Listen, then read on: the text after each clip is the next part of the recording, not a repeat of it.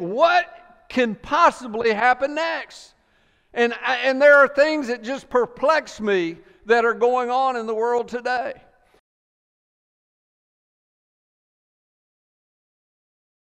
How to thrive in Babylon. And last week we talked quite a bit about what it was like to be in Babylon, and we talked about how Babylon of that day is not much different than the Babylon of today. However, I will tell you, things were a lot different in terms of the violence and the culture that Daniel was in. I, I, I, didn't get a chance to really explain this last week, but one of the reasons why Daniel and his cohorts were taken into Babylon is whenever Nebuchadnezzar came in and he took over a kingdom, one of the things he would do is he would set up a new king. And after he set up that new king, then he would take some of the nobility from that area and take them back to Babylon. And that's what he did with Daniel and his three friends. He took them back to, uh, back to Babylon with him to train them and to teach them. And then, if there was an uprising in Jerusalem or in another city, he would send the heads back of the people that he had taken with them, saying, This is what's going to happen to you if you don't settle down. This was not the kind of king you messed with. As a matter of fact, if you know the history of uh, the Babylonian Empire, they were brutal at times. So, the reason why I'm telling you all of this is because you've got to understand, uh, and you'll see it in your notes and introduction, there is a historical perspective of what's going on here. And as there is a historical perspective, we can look back at history. We can read the history books that were written. We can read secular books that were written about what was going on at this time. The Babylonian Empire had basically pushed the Syrian army to the extent that Syria was no longer a place anymore. And the Egyptian army was also pushed out of place, and they were pushed all the way back to North Africa at this time. So it was very easy for Nebuchadnezzar to walk in and take over Jerusalem. And Jerusalem was not a fortified city like you would think of of fortified cities. So it was very easy for Nebuchadnezzar to come in there and take over that city. But in doing so, he went through and he picked some of the best of the best. And we can see from this account that we have right here that there is a historical perspective of what's going on. But what we need to realize, number two, is that there is also a heavenly perspective of what's going on. And the reason why I'm telling you that is because a lot of times we think things happen outside of the realm of God. And I'm going to tell you today that nothing happens outside the realm of God. If you look in your Bibles, and you can turn to this later in 2 Kings chapter 23, verses 36 through chapter 24 and verse 4, you will see the prediction of this happening to Jerusalem. And it happened because Jerusalem was not following after God's law. And it is predicted what's going to happen and how long they're going to be in captivity. As a matter of fact, the prophet of Jeremiah uh, in the book of Lamentations is all about what was about to happen to Israel and its warnings to them. And I cannot help but think that Daniel, as a boy, because of his position in the kingdom of Israel, had read the prophets Jeremiah and he had read the things that had gone on in the Chronicles of the Kings, and he knew what was about to take place. So he was preparing himself before he ever got into Babylon. Now, here we have four young men. That's what mostly the book is about. Four young men who are probably 15 to 18, somewhere in there. They're off into a foreign country. Now, there are some people that think that Daniel and his friends were made eunuchs. I don't know if that's the case or not. But there's a good possibility that they were made eunuchs at this time. They are smart young men and they are trying to follow what God wants them to do. And all of a sudden, they have been captured and they've gone on this 700 mile trip in wagons probably and got to this new place and they are being taught at Babylon University. So they are in the schools there. They are learning witchcraft. They're learning sorcery. They're learning about how to uh, interpret dreams and all the things that go along with that. And as they're learning all of these things, they have some issues that come up. Now, I want you to understand there's four mega themes in the book of Daniel as you read through it. The first mega theme is that God is in control. God is in control. There's a lot of times that the things that are going on and around us, around the world, we get a little upset. Amen? Do you ever watch the news and just after you've watched the news for a little bit saying, you know, isn't this a great time to be alive? Don't you do that? or do you are you like me, you watch the news and you think, what can possibly happen next? And and there are things that just perplex me that are going on in the world today. But what Daniel had going on is no different than what we were going on. I'm sure Daniel was thinking, hey, I've got it, I'm far away from my family, and, and I'm only here with these guys, and I'm in a strange place learning strange things and eating strange food. What could happen next? But the major theme, one of the major themes of the book of Daniel is that God is in control, even when it seems like everything else is out of control. Look at your notes. Our faith is secure because our future is secure. Daniel knew from the prophets and what he read in the Chronicles of Kings, he knew what was going to happen and he knew how long it was going to last. I'm here to tell you today, folks, our future is secure, and that no matter what happens in this country, or no matter what's happening in the world, or no matter what's happening immediately around us, God is still in control. Second thing I want you to see is the power of a purpose. The mega theme is that a power of a purpose makes a difference. I believe with all of my heart that some of us are not fulfilling our life's purpose because we're not following what God wants us to do. A man lives by believe, a man lives by believing something, not by debating or arguing about many things we need to remember and we need to believe that God is in control, that God is sovereign, that God is with us, and He has a purpose for our lives. I'm teaching the teens, and one of the things that I want so much for our teens to gather in the classes is that you have a purpose in this life. You were not just put here to enjoy life, you were put here with a purpose. Number three, the challenge for us is to be in the world, but not of the world. The challenge for us today is to be in the world, but not of the world. You see, we let culture influence us instead of us influencing culture. I was talking to Joel today, and I don't know where Joel's mind went to, but as I was talking to Joel today, he says, Neal, I remember that it was very risque when I was growing up for a woman to have her dress above her knees. And I started shaking my head. He says, In school, we had to have, the girls had to have their dresses go two inches, and they took a ruler and measured to make sure their dresses were two inches below their knees. And I know some of you are thinking, well, that's hard to believe, but I can see enough people in here going, yep, I remember those days. And now it's barely covering their backside. The world has changed, and we need to learn that we need to be in the world but not of the world. It says there's a major difference between a, being a boat in the water and a water being in the boat. And that's what we need to remember. Number four, God is faithful. Anything less than God will let you down. E. Stanley Jones. One of the things that I'm trying to teach people and get people to understand is their relationship with God does make a difference. In our class this morning, we had a visitor there, and I asked him, I said, Do you trust me? And he said, Yes, a little.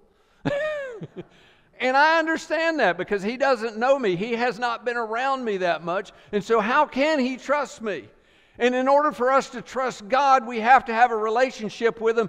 And that relationship is built over time. And the more you're trusting in God, the more you're faithful to God, the more you will trust Him later. And in trusting Him, it will make a difference in your life and in your future. So, the biblical principle that you need to get today is God is faithful in His blessings and His judgments. There will come a day that God is going to judge what we do, but He is faithful in His blessings as well as His judgment. And they are given to us according to our obedience or disobedience. And you need to remember that today because what you do today is going to have an effect on the future. How you react to what God has commanded you to do today is going to have an effect on your future. And I know for a lot of us, it's not easy sometimes for us to be able to trust God when we're in the heat of the battle. But God says, if you will trust me in these things and you will be obedient in these things, I will make a blessing for you. I, am going to just tell you right now the biggest struggle I had in my entire life was money. It was always my struggle. I didn't realize it, but because I grew up in a home where we did not have a lot of money, and at 12 years of age, I went out and I got a job cutting my neighbor's grass over the summer so I could buy my school clothes. And the reason why I did that is um, my, uh, my older brother, he's about the same height as me, but he's about twice as, as big as me. And I don't know if any of y'all remember hand me downs. That was a thing that happened back when I was young, uh, where you, your brother got the clothes, and then when he grew out of them, then you got the clothes. Well, can you imagine me going to school with pants that were this big, and I had to cinch them up? So at 12 years of age, I was determined that I was going to go out and make money, and I was still determined for many, many years that money was a driving factor in my life. And it wasn't until I learned to trust God that money has not been a driving factor. It's still something that's important to me, and it's still something I fight with because I, you know how it is. How much is ever enough? It's always a little bit more. Amen. And we're here to tell you that we need to learn to trust God in every aspect of our life. It may not be finances for you, it may be your health. It, it may not be your health, it may be your relationships in your family. But you've got to learn to trust God in every area of your life. And in doing so, you will be obedient to Him. And it, in that obedience, you will find the blessings. Now, Daniel was in an interesting situation. And we have in here, verses 8 through 16. And that is the crux of our lesson today. It said, But Daniel resolved not to defile himself with the royal food and wine and he asked the chief official for permission not to defile himself in this way. Now, Daniel had caused the official to show favor. Er, now, God has caused the official to show favor and sympathy to Daniel, but the official told Daniel, I'm afraid the Lord the king, who has assigned you food and drink, why he should see you looking worse than the other young men your age. The king would then have my head because of you. And he is not being facetious here, he is being literal. So Daniel doesn't want to have the choice food. I, I don't know how Daniel decided what he didn't want to do and what he didn't want to do, but I'm going to tell you, he had all of these things laid out before him. This was from the king, and the king says, These are the foods these young men are going to have. This is what they're going to eat, and this is what they're going to drink. And Daniel says, You know, I don't think that's what God wants for us. I, I don't believe that that's what God wants or intends for us to do right now. How he came up with that, I have no idea. I, I can imagine that he and his, his cohorts there, Shadrach, Meshach, and Abednego, they were all standing around one day and they was like, you know, we got this food here that we're supposed to eat, but we know that God does not want us to eat certain foods. And we need to figure out a way in the middle of this culture that we're living in how to be obedient to God in a way that's respectful but also obedient to God.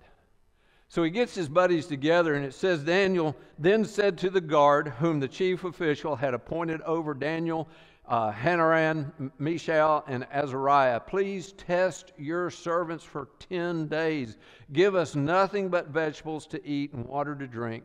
Then compare our appearance with that of the young men who eat the royal food, and treat your servants in accordance with what you see. So he agreed to this and tested them for 10 days. At the end of 10 days, they looked healthier and better nourished than any of the young men who ate the royal food. So the guard took away their choice food and the wine that they were to drink and gave them vegetables instead. I don't know about you, but this had to have been a really, really tough temptation. I, I mean, you, you think about what we like in this generation today. One of the things that I got to do with uh, uh, Tyler and Matthew and his, uh, his girlfriend Erin is we got to take Tyler out. Tyler's getting ready to turn 30. Can you believe Nancy has a child that's 30? Um, I mean, it just blows my mind that she's that old. But uh, anyway, we, we, we got to go out last week and, and uh, have dinner together uh, the four of us, and we went to this place called the Boathouse. And I mean, it was really nice. It's on the St. James River. It's about three stories up in the air, and it overlooks the river, and you can see downtown way off. And I'm going to tell you, it was some choice food that we had that night. And we celebrated together. And can you imagine living a life like that all the time? It had to have been difficult to say, hey, I'm not going to be eating the king's food because what the king has in there are some things that God has forbidden us to, to eat. And, and I'm not going to drink the king's choice wine because God has forbidden me to get drunk. So I, am going to have to make a stand here. And so he calls his buddies together and he says, Hey, look, I got this idea. Why don't we go to the guy that's over us and just talk to him just see if we can get him to agree to something. And, and, and, just give us vegetables and water. Now, I don't know where you are on your dietary palate, but you know, I, I mentioned a few weeks ago that I don't like Brussels sprouts, and I have not heard the end of it yet. Some of you have invited me over for Brussels sprouts, which I denied. Some of you are just, you know, you're into Brussels sprouts and you don't understand me. Let, let me just say this to you. If you're somebody that eats vegetables and that's what you like to eat, God bless you. And I hope you understand better what it's like to have a steak one day. But there had to have been some temptation there. Have, have you ever been on a diet and you walk into a room where somebody's cooking something that's not on your diet and it smells really good? I, am I'm, I'm telling you all this because I don't think it's just as simple as, oh, we just want vegetables and water. I think they had to make a conscious decision. They had to take a stand in this moment. And, and I'm going to tell you that a lot of times it's taking the stand on the little things in the moment that makes the biggest difference down the road. They took a stand here, and this is what happened. Number one, it says Daniel, uh, your notes say Daniel modeled the character, overcome temptation and pressure. He was resolved. In verse 8, it says, But Daniel resolved not to defile himself. And I think for a lot of us, the reason why we don't over, under, uh, overcome temptation, we're not overcomers, so to speak, is because we haven't resolved in our hearts not to let something happen. It's one of the things that I taught my boys when they were growing up, when they went on their dates. I said, You have to resolve before you ever get there. You have to decide before you ever get in the car with this young lady where you're going and what you're going to do and how it's going to look at the end of the night. Because if you don't decide beforehand, there's no telling what could happen. And one of the things that, that they did on a consistent basis that they never realized is we made sure, Nancy and I made sure when they were going out on dates, Nancy and I made sure that we just hugged them and hugged them and hugged them before they went out on their date. By the time they were going out on their date, they didn't want anybody to touch them. They never knew. They couldn't figure that out. They just thought we were loving parents every time they had a date. But we made them decide, Daniel decided here that he was not going to eat the king's food. His decision was personal, it was private, and it was immediate. The second opportunity is always more difficult than the first when the first has been refused. I know you don't believe this, but I have dealt since I was a teenager with anger issues. It's just hard to believe, isn't it? That somebody like me could have anger issues. But I do. I sometimes get angry and I get angry pretty, pretty quick. Now, I've been working on it my whole life. I remember being uh, the father of two boys and getting mad and looking at my sons, and they were like, What happened to the man that we thought was our father? Have you ever gone down the road and you just got angry and you start talking to the car next to you and you think, I must look like an idiot? Or have you ever seen me driving, talking to the car and say, he looks like an idiot? Or somebody like me? The, the reason why I'm telling you this is not just because I need to confess that I have anger issues, but I, I'm telling you this. One of the key things that I've learned about anger is that when I control my anger, the next time it's easier to control my anger. But if I don't control my anger, the next time it's harder to control my anger.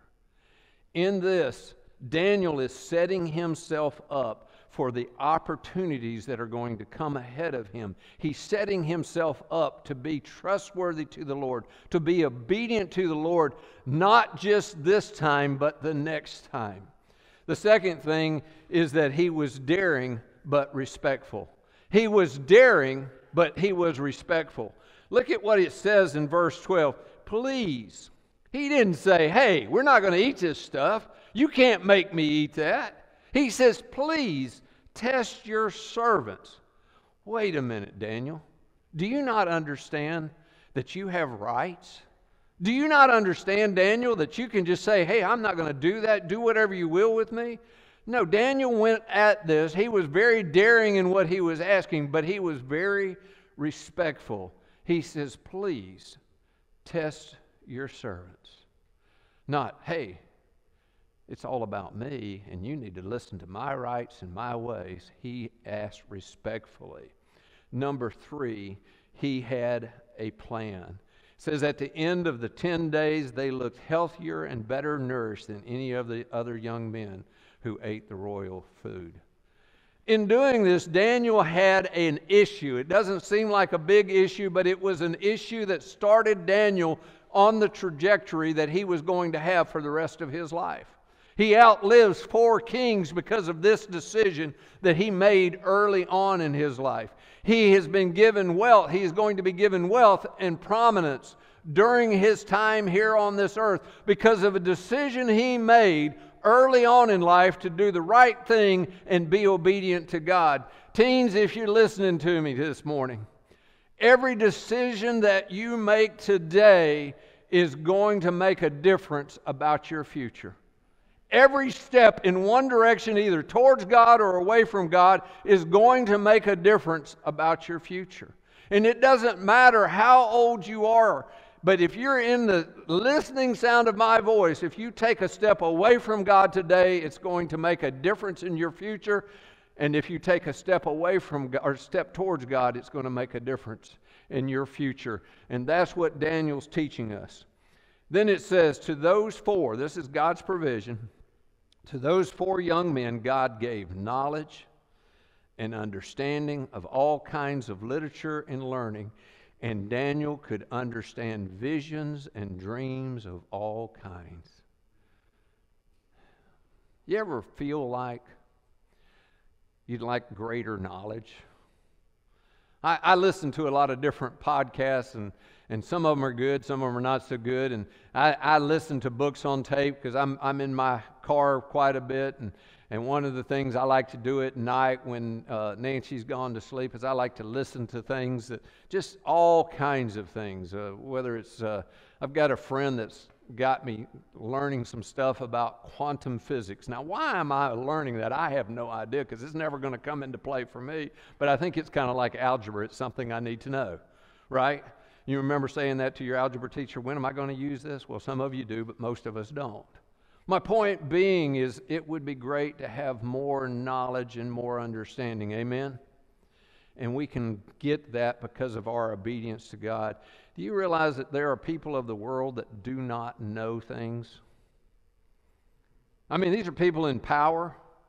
These are people that we have elected as officials. These are people that are are running our country, running different parts of the world. These are people that are in big corporations. You realize they don't know some things that you know? Like, number one, God is in control. They don't know that. But when we're obedient to God, we can find all kinds of things that the rest of the world don't, doesn't know.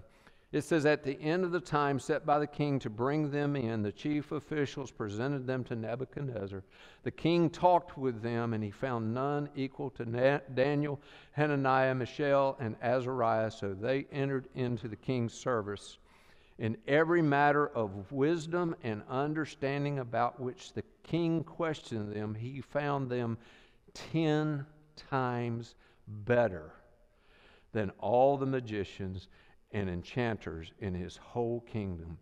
And Daniel remained there until the first year of King Cyrus. I've got three observations, and then the lesson is yours. Number one, God's provision was the direct result of faithfulness. God's provision was the direct result of their faithfulness. You see, if you want God's provision in your life, you can't just say, God, please help me here. He wants you to be faithful so that He can give you what He needs. And I can guarantee you, Daniel and his friends when they were going through this, they probably didn't think to themselves, oh, you know what? If, if, if we don't eat the choice food, if we make a decision here, then God's going to grant all this other stuff to us. They didn't think about that. Instead, they were focused on what God said was true and what God wanted them to do. And as they focused on those things, God's provision took place. And I know there's some of us are living in this world today and we're thinking, how is God going to fix this? And God says, You be faithful.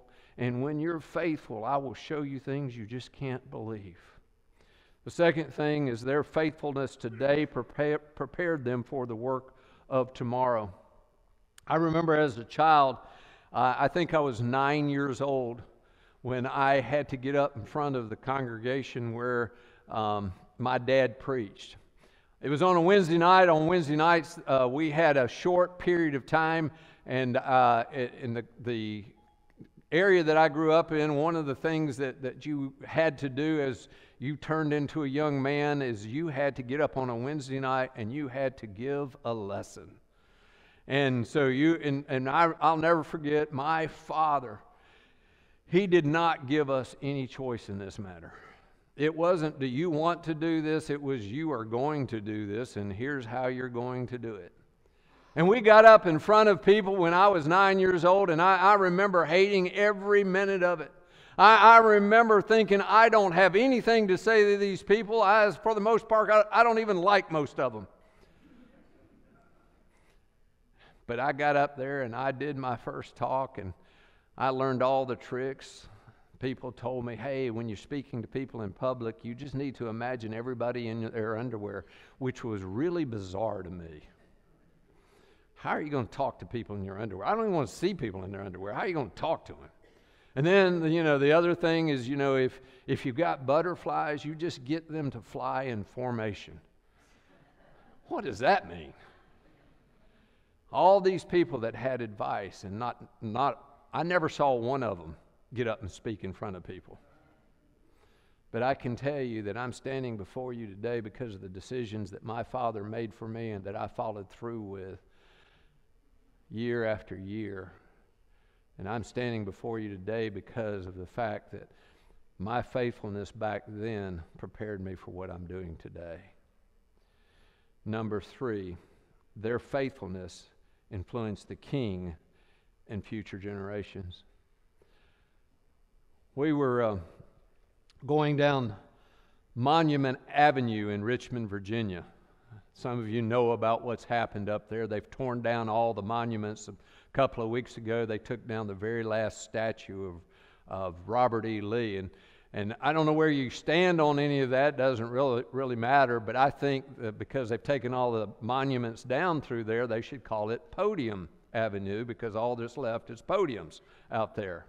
But I, I'm, I'm, what I'm telling you in this is that I thought it was very interesting. Robert E. Lee was the one man from the Confederacy that said, I do not want any monuments to me. And his was the very last monument that was taken down. And, and the reason why I'm telling you this is because I don't want any monuments to me. I, I, don't care even about having a headstone someplace. I, I don't care about any of that. As a matter of fact, I've told Nancy that when I die, and I've told our kids this in case Nancy doesn't want to fulfill it, that maybe they will. I said, when I die, just have me cremated and just sprinkle my ashes over the church. That way I can haunt you forever. That's all I want. Daniel, we don't know where he's buried. Daniel, we don't even know if he had a gravesite. But Daniel has influenced generation after generation because of what he did. And if you want to influence the world for eternity, make the right choices today. Make the right choices today. And as I was thinking about this, I remembered a passage in Matthew chapter 2, verses 1 through 2. And I want to tie these two together because I think this is probably what happened. It says, After Jesus was born in Bethlehem in Judea, during the time of Herod, Magi from the east came to Jerusalem and asked, Where is the one who has been born King of the Jews? When they saw his star in the east, uh, we, have saw, we saw his star in the east and have come to worship him. I believe with all of my heart that Daniel had prophesied enough and he had taught enough in his time that there were wise men that were from the east that came in to look for Jesus because they knew that he had been promised through some of the visions and some of the dreams that, that actually Daniel had interpreted. Now, each Lord's Day, we sing an invitation song, and we sing that invitation song to give you a chance to decide you get a chance to decide this morning. You get a chance to resolve in your heart who you're going to be. You see, I can leave here this afternoon and I can be whatever I want to be. God has given me free will to go home this afternoon and I can be a heathen. I don't think I'm going to do that, but there's a possibility, right? Uh, or I can decide this afternoon that I am going to resolve myself. I'm going to find ways in my life that I can better honor and obey God. But the decision's up to us. You see, God gives us free will. Daniel was not made to do any of this. Daniel could have looked at his circumstances and, you know, said, Well, this is where I am. I don't have any choice in the matter. The king's uh, authority is over me, and I am going to just do whatever the king says, and I'm going to get through all of this. Or, or maybe Daniel was in class with his other teens that he was with, and all the other teens are doing it, so it must be okay. All the other teens are acting this way, so it must be okay. But maybe Daniel and his friends just said, hey, you know what? No matter how the rest of the world's going to act, I'm going to follow God and I'm going to be different. So today, whether you're a teen or you're an adult, when you leave here, you have to resolve how you're going to live the rest of your life. It doesn't really matter to the rest of the world how you live the rest of your life because the world is going to come and it's going to go two people it's going to matter to is one is you, and two is God. But if you resolve correctly, you can influence future generations. If you resolve correctly, God will bless you. If you resolve correctly, you can know peace and you can know joy that the leaders of this world and the richest people of this world will never know. But you have to resolve correctly. The invitation is yours. as we stand and sing.